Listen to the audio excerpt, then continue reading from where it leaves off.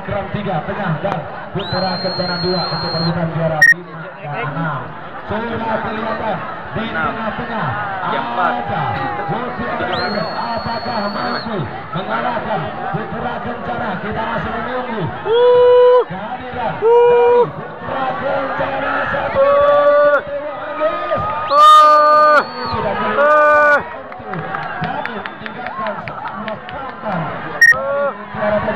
namun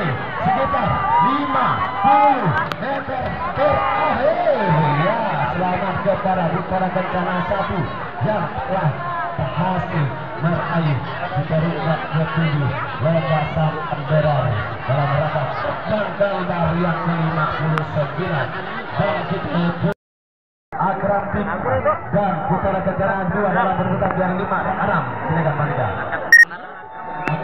oh iya ya Kencana